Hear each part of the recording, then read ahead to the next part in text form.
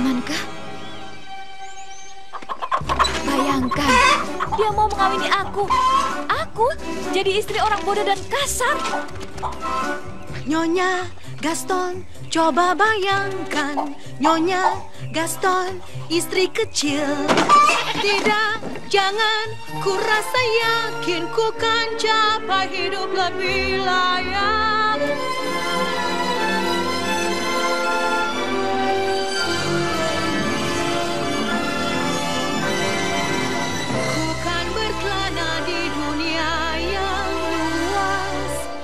Langit tinggi ku jelajah. Masa depan terbentang Dan seorang kan datang. Aku takkan putus harapan